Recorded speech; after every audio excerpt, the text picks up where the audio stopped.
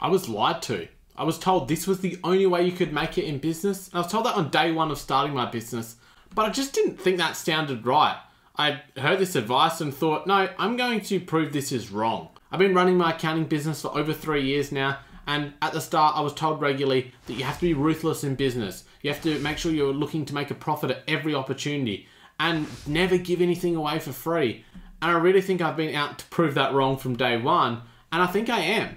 I think that by doing the right thing in business, by being a good person, and by sometimes giving stuff away for free, you can build a successful business in the long term. And I think that comes down to the fact that business can be a tough world. It can be really tough if you're running your own business, but you don't always have to choose between money and doing the right thing. You can have both. And today I'm going to tell you my experiences of this and tell you why I think this is the way everyone should be looking to grow their businesses. The first area is pricing. And I was told from the start that, oh, you need to charge a fortune for your services. You know, higher price means that the better service. And this just isn't true.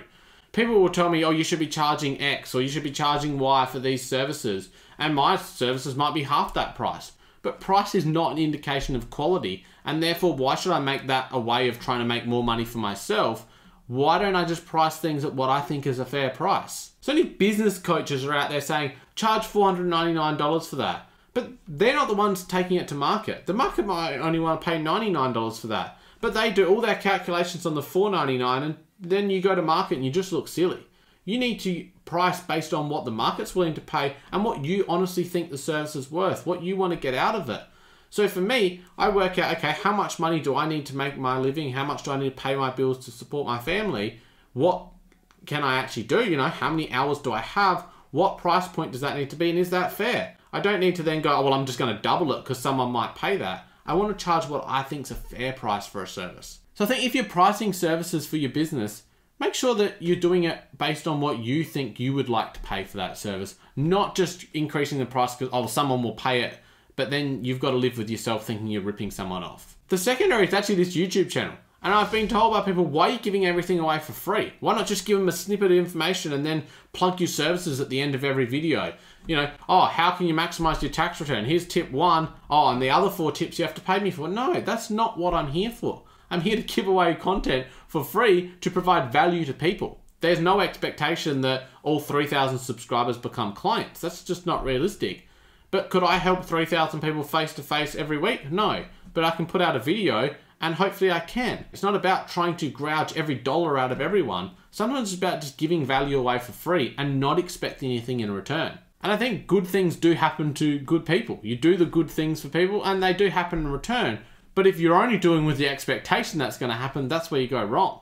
So I could easily give up on this channel and go, oh, I've been doing it for two and a half years and I've only got 3,000 subscribers. Someone else started a channel after me and they got more. But that's not what I'm doing. I'm doing it because I want to provide value to people. I enjoy making the content. People enjoy watching them. Why not keep doing it? I think that's something that surprised people when I said, oh, I'm going to start a YouTube channel. Like, oh, that's a great way to plug your services. And while the occasional time I will mention what I do for a living, I'm not here to do that. And I think that has shown through the content I've made is I've made content I think has been valuable to a broad amount of people, not just content that will bring me in the most subscribers or bring me in the most clients. If I wanted to do that, I could sit there and just go, oh, these things are hopefully things that people are challenged with and they'll just come to me and they'll pay me to help me.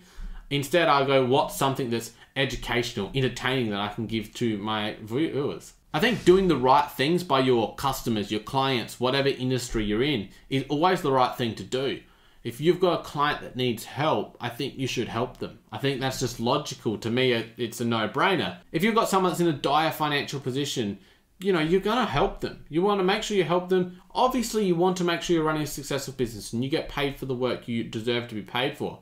But sometimes it might be, all right, I'm going to do this for them up front and I know they're going to pay me in a couple months' time because they're struggling at the moment.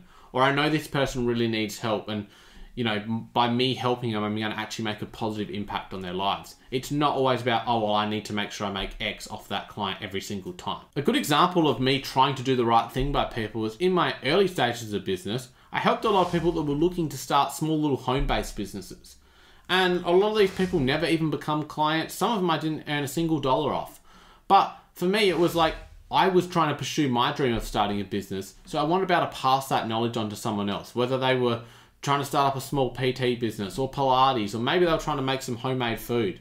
I wanted to be able to portray my knowledge onto them because I was lucky enough to be in the position where I could start a small business myself and let me help these people pursue their dreams. The great thing with this, I've been able to work with some of these people in the long term and see them take this small little business into something successful that they're doing as a full time living.